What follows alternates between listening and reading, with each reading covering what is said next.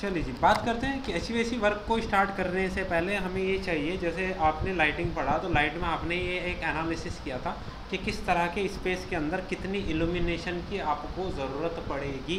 उसके बाद ही तो आपने शुरू किया। सेम इसी तरह आपको पहले ये पता होना चाहिए किस स्पेस के अंदर कितने एयर फ्लो की ज़रूरत है। उसके बाद ही आप वो डिसाइड कर पाएँगे। अब अगर मैं किसी स्पेस को यहाँ आकर के सेलेक्ट करता हूँ। स्पेस को सेलेक्ट करते ही मुझे पता चल जाता है कि भैया स्पेस का नेम और नंबर क्या है।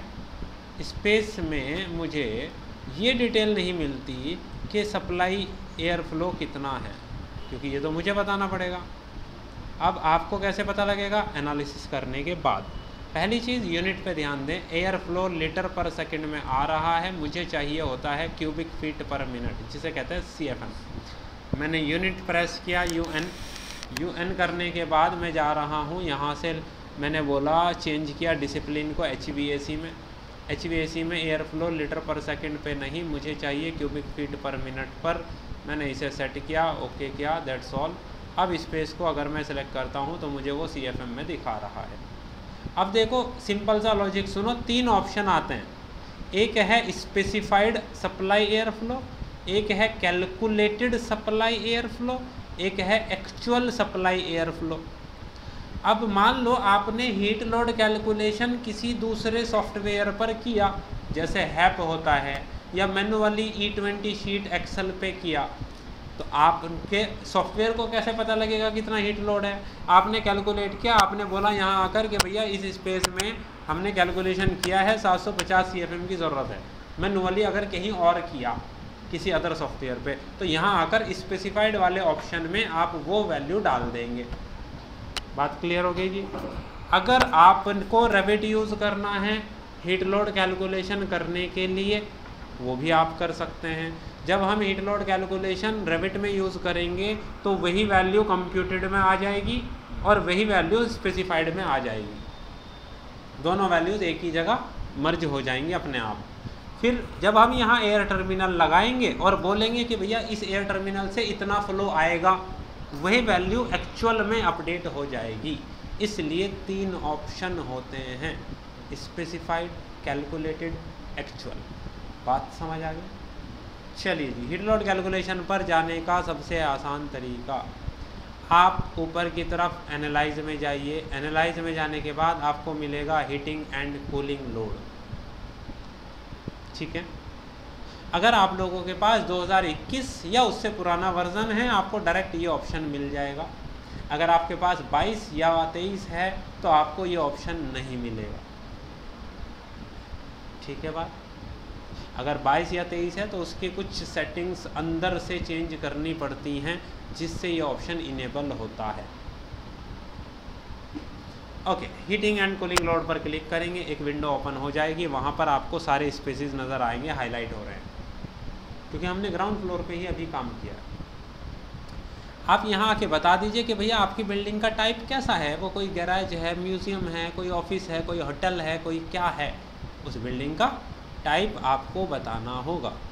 मैंने बोला कि भैया ऑफ़िस स्पेस है। उसकी लोकेशन क्या है? लोकेशन पे डिपेंड करता है क्योंकि वेदर कंडीशन वहाँ का टेम्परेचर हर चीज़ पे इफ़ेक्ट डालता है। मैंने बोला, हमारा जो प्रोजेक्ट है, वो दिल्ली में है। सर्च करो जी दिल्ली। ये कह रहा है न्यू दिल्ली इंडिया हमने बोला, बिल्कुल। ये कह रहा है, क्या ये वैल्यू उठा लूँ? हमने बोला, ठीक है यार, उठा लो, कोई बात नहीं। ये वैल्यू अगर मैं आपको ब्राउज़ करके दिखाऊँ, ये वैल्यू उठाता है वो सबसे क्लोजेस्ट हमारे है दिल्ली सफदरजंग। वहाँ का एक वेदर स्टेशन है। वहाँ से उसने डाटा उठा लिया। कौन सा data dry bulb temperature wet bulb temperature और मीन डेली रेंज क्या है? इसके हिसाब से उसे टेम्परेचर मिल गया। ठीक। साइट पे जाकर डिफ़ॉल्ट साइट वही हो जाएगी जो भी आपने लिया। लोकेशन चलो जी। ग्राउंड हमारा वही है। हमारा नया फ़ेज़ है। सिल्वर स्पेस टॉलरेंस अब देखो, सिल्वर स्पेस टॉलरेंस को समझना भी ज़रूरी है, आपके बहुत काम आएगी चीज़। आपको दिखा भी दें साथ साथ क्योंकि विजिबिलिटी देखने के बाद चीज़ ज़्यादा अच्छी समझ आती है। इमेज में दिखाइए जी बस।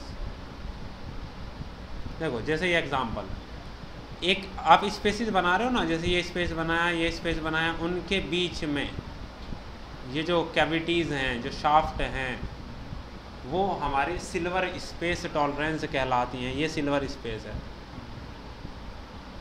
तो सिल्वर स्पेस का टॉलरेंस कितना दिया जा सकता है? कितना लिया जा सकता है?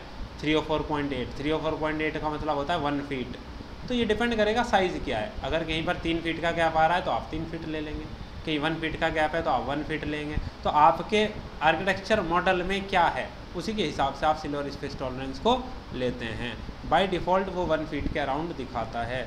अगर मैं आपको इस सेटिंग को सेव करूँ एज इट इज़ जितनी सेव हुई हैं, और मैं यहाँ आकर के डी आई प्रेस करूँ, यानी कि डायमेंशन और सेंटर से सेंटर देखूँ तो सेंटर से सेंटर के बजाय मुझे देखना होगा। इस फेस से। तो ये सेंटर लाइन की जगह वॉल फेस मैंने बोला यहाँ से यहाँ तक का गया। यह है चार सौ साठ एम तो जब मैं हीट लोड कैलकुलेशन करूँगा, मैं यहाँ पर सिल्वर स्पेस टॉलरेंस की वैल्यू डाल दूँगा। ठीक है जी? बिल्डिंग एनवलप में आए कि आपको केवल एक्सटीरियर एलिमेंट्स पे निकालना है या सारे फ़ंक्शन पैरामीटर कंसीडर करने हैं। जैसे बीच में बिल्डिंग के डोर है उसके अलग अलग फ़ंक्शन है डोर का अलग फ़ंक्शन होता है विंडो का अलग फ़ंक्शन होता है रूफ का अलग फ्लोर का अलग।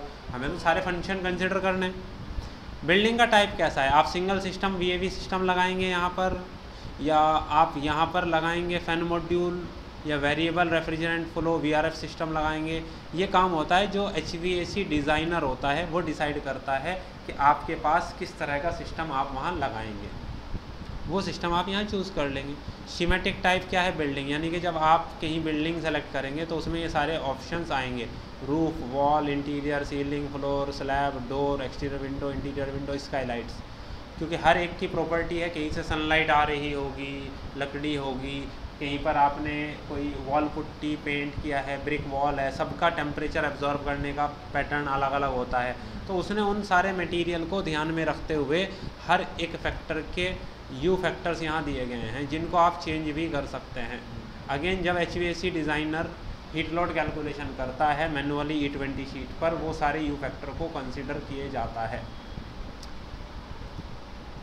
बिल्डिंग इनफिल्ट्रेशन क्लास जैसे जनरली हम अपने रेजिडेंशियल या कॉमर्शियल स्पेस की बात करें, जैसे आप सेंटर को देख सकते हो आप जब भी कोई पार्टीशन मिलेगा, आपको गैपिंग्स नज़र आ जाएँगे। यानी कि ये लूज टाइप है बेसिकली आप इनफिल्ट्रेशन क्लास लूज में आएगा ये, जिसमें रेजिडेंशियल अगर हम बात करें, जैसे हमारे पास मेडिकल टर्म्स में जो लेबोरेटरीज़ होती हैं, जहाँ पर रिसर्च आप कुछ चल रही है, वहाँ उनको हम टाइट रखते हैं। टाइट का मतलब क्या है कि वहाँ से एयर लूज़ नहीं होनी चाहिए लीकेज नहीं होनी चाहिए। जितना इनटेक होता है उतना ही एग्जॉस्ट होता है। Complete hundred percent fresh air आती है जो तो ऑब्वियस स्पेस है तो ऑब्वियसली लूज ही होगा। Building infiltration class report type को स्टैंडर्ड ही रखा। अगर और ज़्यादा डिटेल में जाना हो स्पेस वाइज अलग अलग तो आप डिटेल्स में जाएँगे। डिटेल्स में जाने के बाद ये सारे स्पेसिस खोलेंगे। सेलेक्ट करेंगे कि भैया ये मैकेनिकल है। अब ज़ीरो ज़ीरो वन मैकेनिकल का मतलब मैकेनिकल रूम है। उस मैकेनिकल रूम के लिए आप यहाँ ब्राउज़ करेंगे कि भैया स्पेस का टाइप कैसा है। उस मैकेनिकल रूम के लिए आप यहाँ आकर उसका स्पेस टाइप डिफाइन करेंगे। रूम है लॉबी है, कोई वेटिंग एरिया है या कोई इलेक्ट्रिकल या मैकेनिकल रूम है। मैंने वो सेलेक्ट कर लिया कि मैकेनिकल रूम है। सेलेक्ट करके मैंने ओके किया मैकेनिकल रूम यहाँ आ गया। बात सही है? सेम इसी तरह वेटिंग पे गए वेटिंग पे जाकर आपने यहाँ ब्राउज़ पे क्लिक किया स्पेस टाइप और आप नीचे की तरफ़ आएँगे तो आप देखो कहीं कोई वेटिंग एरिया का ऑप्शन है क्या? डब्लू डब्लू पर तो वेटिंग एरिया नहीं है। रिसेप्शन या वेटिंग तीन ऑप्शन हैं आपके पास। लेकिन ये होटल का है मोटल का है या ट्रांसपोर्टेशन का है? है ना? ऑफ़िस का कोई ऑफ़िस का ओपन प्लान हो सकता है वेटिंग एरिया और हमारे पास लॉबी ले सकते हैं सिंपल आप ओके okay करेंगे तो हर एक स्पेस का स्पेस टाइप डिफाइन करेंगे।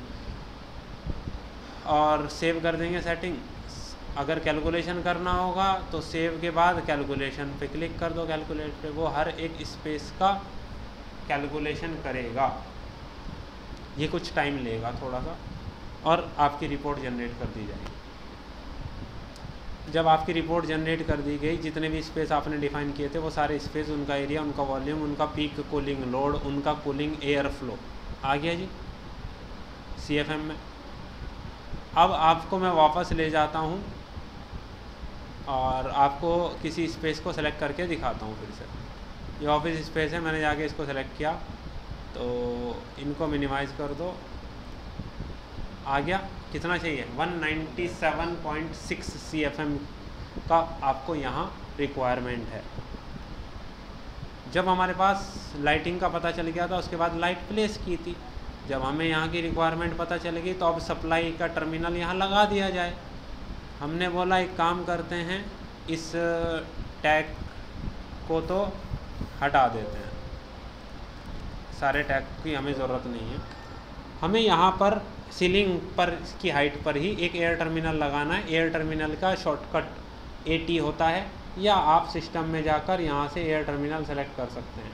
ए पे जैसे ही क्लिक करेंगे, यहाँ जाएँगे, तीन ऑप्शन मिलेंगे, सप्लाई, रिटर्न, एग्जॉस्ट। अभी हम सप्लाई की बात कर रहे हैं।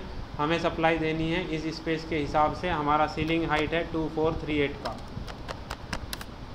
जैसे ही हम यहाँ लेकर आते हैं, ये देखो सप्लाई दे रहा है यहाँ, चारों डायरेक्शन से निकल रहा है। इतना बड़ा इवन स्पेस है कि हम आराम से एक को सेंटर पर रख के काम चला सकते हैं। जैसे ही आपने इसको प्लेस किया प्लेस करते ही ऊपर इसका फ्लो आ रहा है। कितना? हमें रिक्वायर्ड है 197 समथिंग की। मैंने बोला 200 सी की हमें ज़रूरत है। थोड़ा बहुत मार्जिन एक्स्ट्रा लेके चलें। अब आपका, अगर मैं ये स्पेस सेलेक्ट करता हूँ तो स्पेस सेलेक्ट करते ही पता चल गया कि भैया मुझे इतनी ज़रूरत थी, मेरा इतना एक्चुअली यहाँ अप्लाई हो गया। इसी तरह इसका एक एनालिसिस इसका एक शेड्यूल भी बना लिया जाए साथ साथ तो अगेन जाएँगे। Schedule right click new schedule quantity यहाँ जाते हैं, किसके लिए बनाएँगे शेड्यूल स्पेसिस के लिए। उसको नाम दे दीजिए। और आपने बोला एयर फ्लो एनालिसिस मैंने इसे ओके किया। यहाँ आने के बाद मैंने सबसे पहले तो वही नंबर नाम और लेविन तीन चीज़ आ गई जी। फिर मुझे चाहिए कैलकुलेटेड सप्लाई एयर फ्लो फिर मुझे चाहिए एक्चुअल सप्लाई एयर फ्लो आ जाएँगे दोनों जगह। ये दोनों यहाँ ऐड करने के बाद मुझे यहाँ चाहिए आ, इन दोनों का डिफरेंस तो मैं यहाँ एक फ़ंक्शन पैरामीटर बना देता हूँ इसको बोल देता हूँ ये क्या है जी? एक डिफरेंस है। क्या डिसिप्लिन है? एच किसका डिफरेंस है? एयर फ्लो का। किस से किसमें? कि एक काम करो जी कैलकुलेटेड सप्लाई से माइनस कर दो एक्चुअल को ओके ये डिफरेंस बन गया। अब डिफरेंस का एक फॉर्मेट बनाना है कंडीशन लगानी है, लेकिन किस पे? डिफरेंस पे। डिफरेंस को सिलेक्ट करके कंडीशन पे आए। अगर डिफरेंस ना हो, किसके बीच?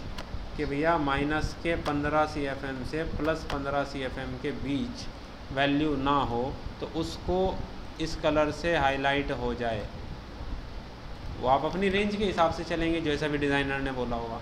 तो आपने बोला, ये एक चीज़ सेफ़ जोन में आ गई वन ज़ीरो वन ठीक है जी बात करते हैं हमारे पास, जैसे फॉर एन एग्ज़ाम्पल ये एरिया है वेटिंग ठीक है? यहाँ हमारी रिक्वायरमेंट है सोलह सौ सड़सठ। या ये देख सकते हो फोर ग्यारह सौ पाँच की रिक्वायरमेंट है। तो सिक्सटीन वेटिंग को देखते हैं।